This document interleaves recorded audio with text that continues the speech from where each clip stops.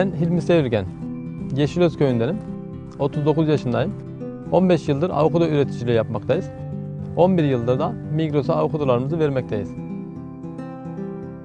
Bahçemizde 8 çeşit avokadomuz bulunmaktadır. Bunun sebebi tüketicilere her ay avokado lezzetlerinden tattırmaktır. Bir sebebi de bunların kendi içerisinde erkeğe dişisi var. Bunlarla beraber tozlanma gerçekleşiyor. Bu avokadoların her bir cinsinin ayrı ayrı hasat dönemleri var. Hasat dönemi gelen ürünlerin gününde toplanması gerekiyor. Toplama yaparken de yere kesinlikle düşmemesi lazım. Çünkü yere düştüğü zaman yaralanma, berelenme oluyor. Ee, yaralanan yerde çürüme meydana geliyor. Tropikal bir ürün olduğu için yaprakları acı oluyor. Acı olunca sinek, böcek, haşere gelmiyor. Avokadonun tozlanmış olması o avokadonun olgunluk derecesine eriştiğini göstermektedir. Şu elimde gördüğünüz avokado 200 gram ve üstü ve elimizi tamamen dolduran lezzetli yeşil özde yetişen bir avokadodur. Cinsine göre renkleri değişmektedir. Reyondan alırken bir avokadonun açık renkte veya koyu renkte olması o avokadonun kötü olduğu anlamına gelmemektedir. Tüketiciler hemen yemek istiyorlarsa yumuşak avokado almaları gerekmektedir. Daha sonraki vakitlerde yemek isterse sert avokado alması lazım. Limon ve elmanın yanına koyaraktan yumuşamasını sağlayabilirler. Avokadonun sabah ezmesini, öğlen salatasını, akşam da muz, ceviz karıştıraraktan üstüne bal dökerek tatlı niyetine de yiyebiliyoruz. Avokadoyu her zaman yiyebilirsiniz. Sabah, öğlen, akşam hiç fark etmez. Avokadonun tam zamanı. Bol bol tüketin. Afiyet olsun.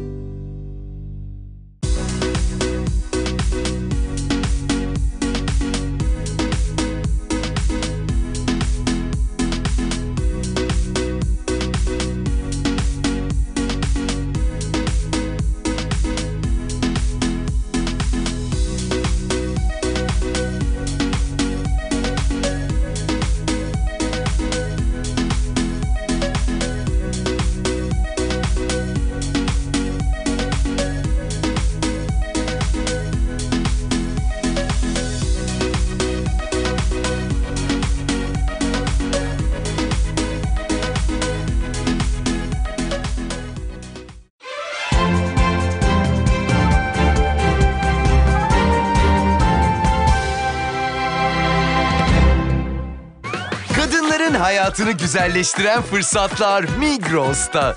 Şimdi Migros'ta çikolatalar %25 indirimle sizi bekliyor. Migros size iyi gelecek. Kadınların hayatını güzelleştiren fırsatlar Migros'ta. Şimdi Migros'ta çikolatalar %25 indirimle sizi bekliyor. Migros hayatını güzelleştiren fırsatlar Migros'ta. Şimdi Migros'ta çikolatalar %25 indirimle sizi bekliyor. Migros size iyi gelecek.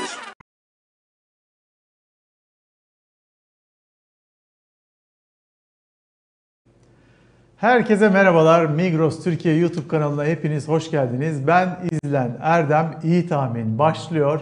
Biliyorsunuz hafta içi pazartesi, çarşamba, cuma saat 13'te sizlerle birlikte oluyoruz. Peki ne yapıyoruz her programı açtığımızda? Kısaca yarışmanın nasıl olduğundan bahsediyoruz. Çünkü yeni katılanlar oluyor aramızda. Öncelikle katılmak için bir şey yapmanıza gerek var mı? Hayır, sadece abone olmanızı istiyoruz. Hemen ekranın sağ alt köşesinde bulunan abone ol butonunu tıklayarak öncelikle bir abone olmanızı istiyoruz. E, abone olmazsanız bir şekilde ödül kazandığınızda bunu veremiyoruz maalesef. Şimdi yarışmamıza gelelim. Nasıl yarışacaksınız? Biz 10 tane canlı yayında soru soracağız. Yanıtlarınızı şu anda yazmakta olduğunuz sohbet kısmına yazacaksınız.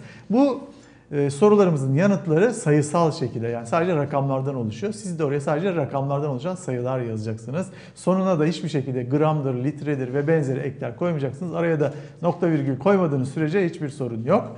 Biz o yanıtları alacağız. Sorduğumuz soruya cevabına en yakın tahmini yapan o sorunun birincisi olacak ve 100 puan alacak. İkinci olan 99, üçüncü 98 şeklinde ilk 100'e puan veriyoruz. Sonra da 10 soru sonunda o puanlar birikiyor. Günün birincisi 250 mani kazanıyor. ikincisi 100. Günün üçüncüsü de 50 mani kazanıyor dedikten sonra hiç ben vakit kaybetmek istemiyorum. Ee, Bir tek şeyi de hatırlatayım. Aynı yanıtı verdik ne olacak? O zaman da önce yanıt veren kazanıyor. Biz YouTube'dan saniyenin binde birine varan oranda zaman damgasıyla alıyoruz yanıtlarınızı. Evet, ilk sorumuz gelebilir. Görüntülerdeki yarışta kaç pilot yarışmıştır? Bu bir MotoGP. MotoGP yarışması. Burada gördüğünüz gibi birçok pilot var yarışan. Bizim sorumuz toplam kaç tane olduğu. Eminim tam yanıtlar gelecektir 12'den vuranlar. Evet süremiz bitti. Alalım yanıtımızı.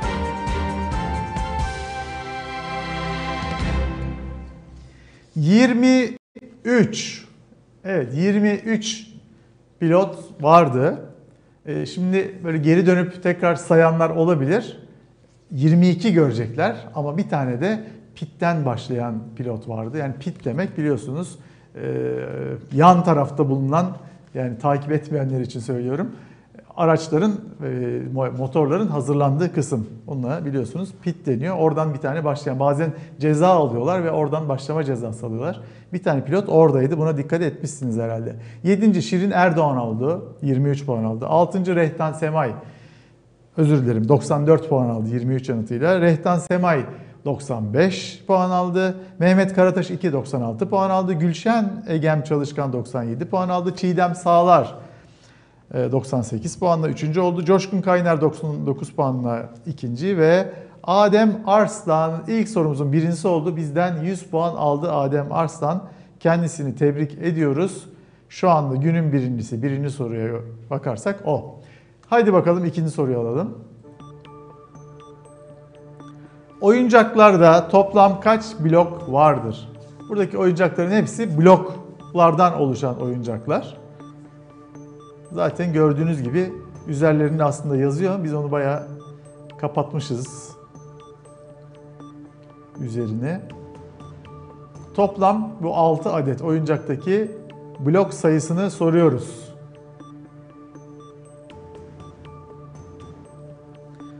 Son bir saniye ve süremiz bitti. Alalım yanıtımızı.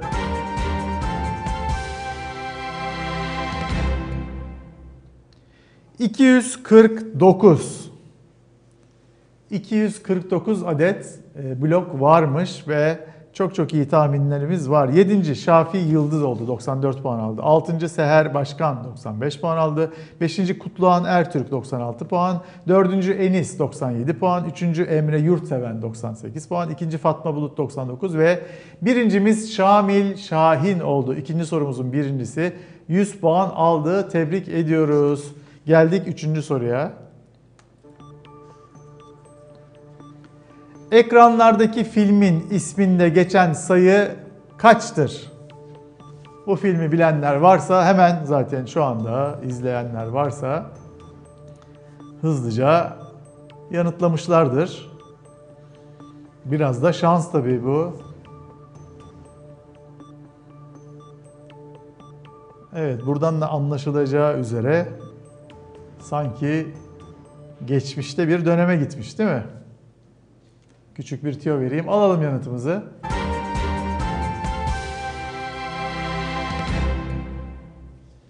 ...1973.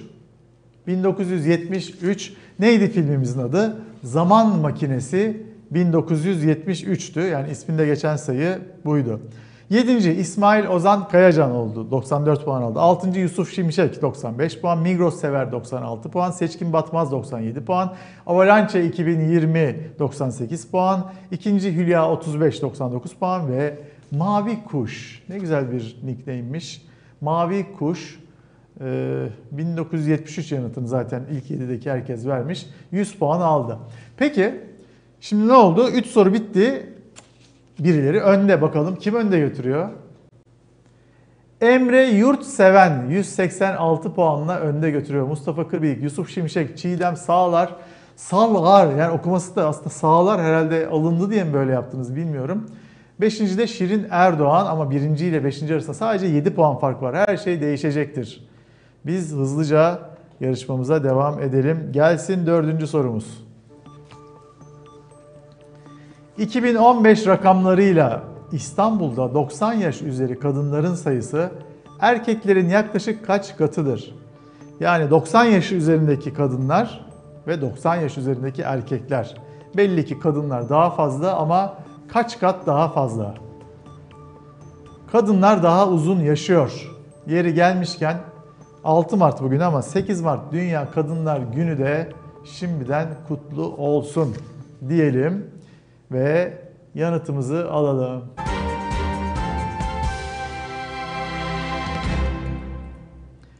Üç. Evet. 3 kat fazlaymış ve bakıyorum ben bunu herhalde bayağı bir evet 3 kat yani sonlara doğru ilk yani yüzün neredeyse tamamı 3 yanıtını vermiş. Enteresan değil mi? Yani kadınlar gerçekten daha uzun yaşıyorlar. Erkeklerde çünkü çok kalp sorunları oluyor. En azından kadınlarda belli bir yaş üstünde kalp sorunları belirmeye başlıyor. 55'lerden ya da 52'ler o civardan sonra diye biliyorum. 7. Nil Koç 94 puan aldı. 6. Sevil Türkoğlu 95 puan. 5. Yusuf Şahin 96 puan. 4. Emre Yurtseven 97 puan. 3. Bulut Bey 98 puan. 2. Ela Naz Öktenoğlu 99 puan. Ve 1. Dördüncü sorumuzun birincisi Tamer Çankaya. Tamer Çankaya sizi tebrik ederiz. 100 puanı aldınız bizden. Ve biz de geldik 5. sorumuza. Tabakta kaç gram Migros iri parçalı ton balığı vardır? Migros'un böyle bir ürünü var. Kendi markasıyla. Birçok Migros markalı ürünümüz var. Bu da onlardan biri. Bunu açtık bir kısmını biz tabakta kaç gram olduğunu soruyoruz. Üzerinde zaten bakın normal şeyi yazıyor yani normali süzme ağırlığı 104 gram diyor. Evet alalım yanıtınızı. 99 99 gram iri parçalı ton balığı varmış. Normalde zaten yani süzdüğümüz zaman 104 gram aslında var bir konserve kutuda. 7. Şahsenem Boz 94 puan. 6. Kalkülüs 1. Kalkülüs 101 olsaymış. Kalkülüs 1 95 puan. Perihan Çelik 96 puan 5. oldu. Zuhal Yurttaş Demirtaş 97 puanla 4. oldu. Yakup Kolaman 98 puanla 3. oldu. İkinci Rabia 99 puan aldı ve 5. sorumuzun birincisi Volkan Ertürk oldu. Volkan Ertürk tam da 12'den vurmuş. Tebrik ediyoruz sizi. Geldik 6. soruya. Ekranda kaç adet bulmaca parçası vardır? Haydi bakalım. Biraz zor bir soru. Daha doğrusu bizim aslında yani zor kolay değil neticede. Bu bir tahmin. Kimse tam yanıt vermenizi beklemiyor.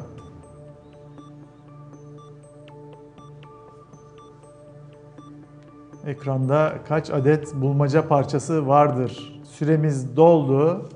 Yanıtımızı alabiliriz.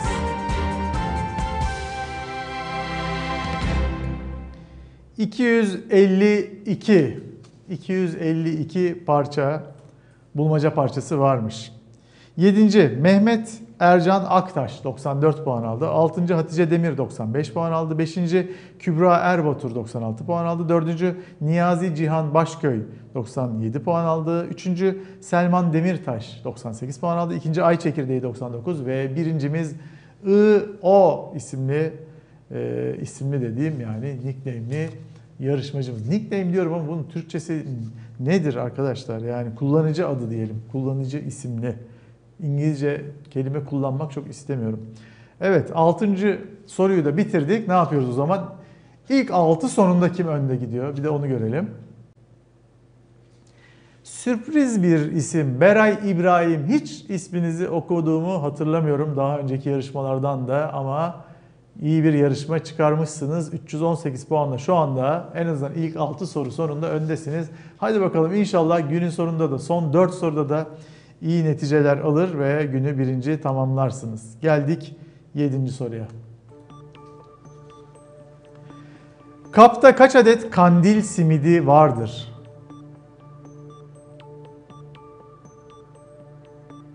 Geçen haftaydı değil mi kandil? Bu sorularda bence en zor sorulardan çünkü çok az sayıda ve hata yapma olasılığı yüksek. Hata yaptığınız an bir anda ya da hata demeyelim yani bir tam yanıtı veremediğiniz anda bir anda geride kalabiliyorsunuz. Alalım yanıtımızı.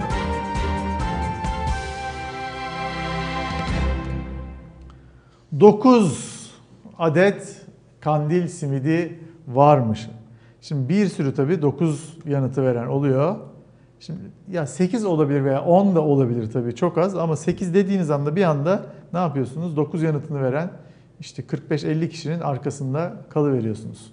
7. Eren Akkaya 94 puan aldı. 6. Nurhan Özek 95 puan aldı. 5. Mehmet Karasoy 96 puan aldı. 4. Özgür Eroğlu 97 puan aldı. 3. Gülden Yüksel 98 puan aldı. 2. Mehmet Uysal 99 puan ve birincimiz epeydir ismini okumuyorduk. O da çok iyi bir yarışmacımız. Aysel Akın oldu. Aysel Akın e, bu sorumuzdan, 7. sorumuzdan 100 puanı aldı. Geldik 8. sorumuza. Ekrandaki zarların altta kalan yüzlerindeki rakamların toplamı kaçtır? Rakamların toplamı olacak. Orada bir ı eksik kalmış ve bizim de gözümüzden kaçmış. Şu anda görüyorum ben. Bu arada benim de gözümde bir küçük bir problem var. Kamerada daha da ortaya çıkmış ışıkların altında. Ekrandaki zarların altta kalan yüzlerindeki rakamların toplamı kaçtır? Gelsin yanıtımız. 21. Evet 21. Aslında e, hem basit hem zor. Bence güzel soruydu. Ve aşağı yukarı zaten herkes de doğru yanıtı vermiş. Neticede e, biliyorsunuz farklı yüzler zarlarda alt ve üst her zaman toplamları 7 yapıyor. Zaten üstte gördüklerinizin toplamı aslında altta gördüklerinizin de toplamıydı. Bunu da söylememe aslında gerek yok. Zaten herkes bilmiş. 7. Ayten Akoğlu 94 puan almış. 6. Serpil Tuna 95 puan. 5. Orion 96 puan. 4. İsmail Ozan Kayacan 97 puan. 3. Adnan 35 98 puan. 2. Sedat Aydoğan 99 puan. Ve bu tür soruları seven sevgili arkadaşımız Sarp 100 puanı almış bizden. Ne yaptınız? Hemen 6 çarpı 7 bölü 2 yaptınız değil mi? Ama şeyin adını da unuttum iyi mi? Ee, yıllar geçince e, metodun adı vardı değil mi? Sevgili öğrenci arkadaşlar yazarsanız onu buradan bakmaya çalışırız. Evet 9. sorumuz gelsin.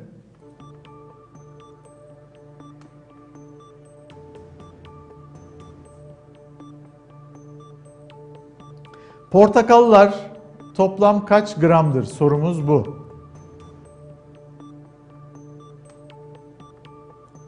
Ekranda portakallar var. Nigar Hanım, Nigar Demirci. Geçmiş olsun demiş. Çok teşekkür ederim. O kadar kötü olduğunu düşünmüyordum ama ışıkların altında gerçekten. evet. Süremiz doldu. Alalım yanıtımızı.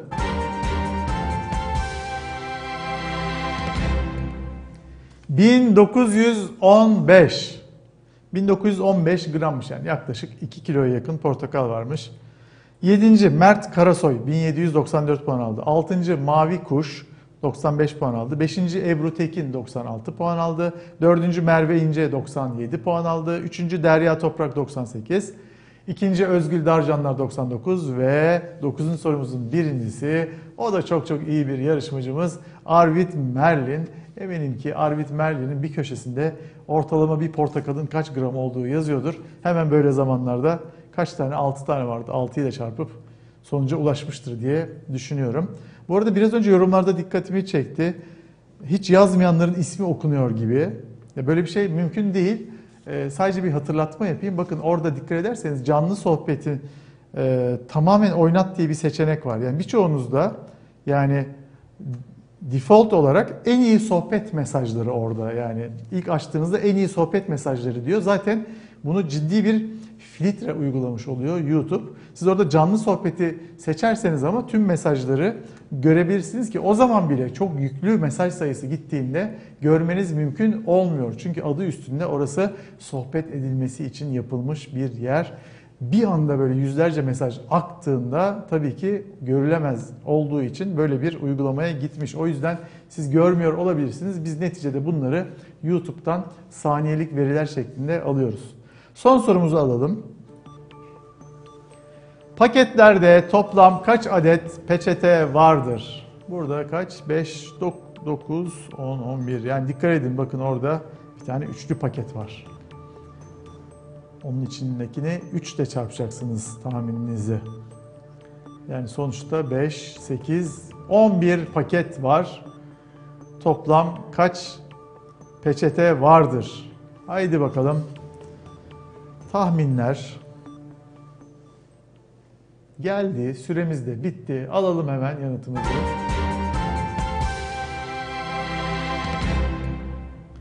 ...360 adet peçete varmış. Peki. 7. Özlem Dağcı oldu 94 puan aldı. Elif Tuna Tuna Elif 6. oldu 95 puan aldı. Ebrar Zeynep Ünlü 96 puanla 5. oldu. 4. İsmail Gökçe Gökgöz oldu 97 puan aldı. 3. Erdinç 98 puan aldı. 2. Derya Toprak 99 puan aldı ve 1. Önder Çubukçuoğlu oldu son sorumuzda. Böylece ne yaptı? 100 puanı da aldı. Tekrar hatırlatayım. Birinci olan 100 puan alıyor. Yüzüncü olan 1 puan alıyor. Yani ilk yüze giren herkes ama puan almış oluyor. Çok basit bir puanlama sistemi. Yani burada baktığımızda mesela bu seçilim 14. olmuş son soruda. 380 puanı almış. Leyla Kurt şey 380 yanıtıyla 14. olmuş. 87 puan almış. Leyla Kurt da 84 puan almış gibi. Bunlar da hiç fena puanlar değiller. Evet şimdi geldik günün birincisini açıklamaya. Ne yapacağız biz? Beşinciden başlayacağız. Ama hiç merak etmeyin. Ee, birazdan yani yarışmamız bittiğinde herkes puanlarını görebilecek. Herkes puanlarını görebilecek. Biz ekrana vereceğiz. Oradan kaç puan aldığınızı göreceksiniz. Beşincilikte iki adet isim var. Ee, birisi Seçkin Batmaz. 373 puan almış. Diğer 373 puan alan arkadaşımız ise hiç küsmenize gerek yok sevgili Ufuk Ağırbaş. Ben e, hala ilgileniyorum emin olun. Hatta dün o konuyla ilgili bir e, yazışma da yaptık. İkimizin arasında ama kusura bakmayın Ufuk Ağırbaş'la benim aramda. Hiç merak etmeyin o küskünü e, sildireceğim size. Peki dördüncümüz Beray İbrahim oldu. 388 puan ile. Beray İbrahim 6 soru sonunda birinciydi. Hakikaten üzüldüm. Yani çok da iyi yarışmışsınız ama zaman makinesinde Zaman Makinesi 1973 filmi sorumuzda 3 demişsiniz sadece. O yüzden ilk yüze girememişsiniz 0 puan. Bir de zarlarda zar sorusunda 0 puan almışsınız. Ee, herhalde hızlı acele ettiniz. Çünkü 38 yanıtını vermişsiniz. Halbuki zaten 6 zar var. Yani hepsi 6 olsa bile 36 yapar ama çok çok normal. Hızla böyle yanıt vereyim derken insan e, hatalı yanıtlar verebiliyor. Peki geldik ilk üçü açıklamaya. Üçüncümüz 418 puanla I.O. isimli yarışmacımız. İkincimiz sadece 7 puan fazla almış. Elif Tuna, Tuna Elif. 425 puan almış Elif Tuna Tuna Elif. Peki neden ikinci oldunuz? Neden birinci olamadınız? Ona bakıyorum. Birinci sorudan 0 puan almışsınız. 34 pilot yarışı demişsiniz. O kadar değildi. 21'de. 23 müydü pardon. Zaman makinesi 1973'te siz de 0 puan almışsınız. Bulmaca parçasında da 0 puan. Zarlarda da 0 puan. Yani 4 sorudan 0 puan almışsınız ama öbür sorularda o kadar iyi ki yanıtlarınız. Gün ikincisi olmuşsunuz ve geldik günün birincisini açıklamaya. 511 puan. Çok iyi bir puanla Özgül Darcanlar. Özgül Darcanlar 6 Mart 2020 tarihli yarışmamızın birincisi oldu. Tebrik ediyoruz kendisini. Çok da e, iyi bir yarışma çıkarmış. 511 puanla gayet iyi bir puan. Peki bitti. Biz pazartesi günü tekrar karşınızda olacağız. İnşallah gözüm de iyileşir. Gerçekten yumruk yemiş gibi. Yani buradan ekrandan öyle görünüyor. Yani normal ayna karşısında böyle görmüyordum. Hiçbir yere ayrılmayın. Abone olmayı unutmayın. Puanlarınızla sizi baş başa bırakıyorum. Pazartesi görüşmek üzere.